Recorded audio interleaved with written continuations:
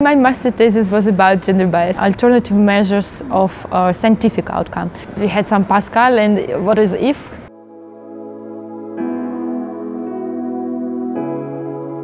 My name is Olga Zagovora and I'm a PhD student at GESIS Leibniz Institute for Social Sciences. I mean, I was always interested in just basically in the computer. I maybe haven't considered me as a, being a computer scientist or programmer at the beginning. I tried to combine it with like engineering, so I was studying information technologies of design at the very beginning.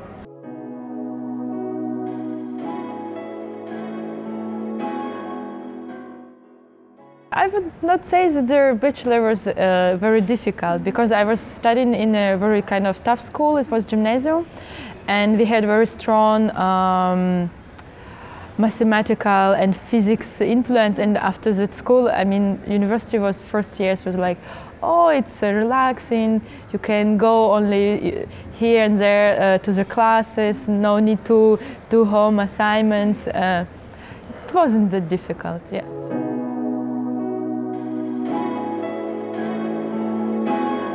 When i entered the bachelor i didn't know almost nothing about programming. I mean like it was like we had some Pascal and what is if.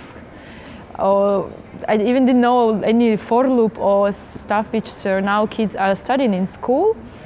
Uh, but I think I, it, it gone pretty smoothly. I mean, I was uh, from the very first course uh, kind of involved hard in all kind of. So we started many programming languages, mm -hmm. even though it was uh, a bit of combination of computer science with uh, uh, engineering field.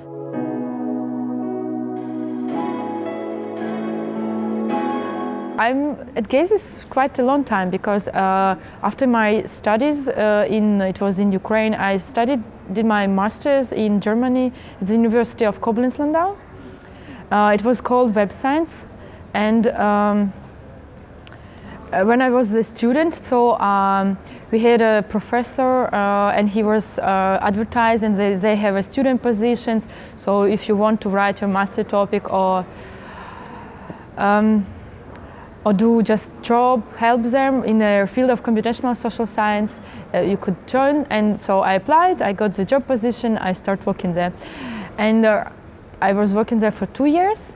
And after I finished my master's, I uh, entered the PhD there. So, and I now work for a project which is called Metrics, and uh, it's for uh, studying alternative measures of uh, scientific outcome. So basically, we are taking into account the uh, social media uh, signals like likes, uh, tweets about scientific outcome, and we try to find whether there are possibility to to identify success of scientists using those alternative measures.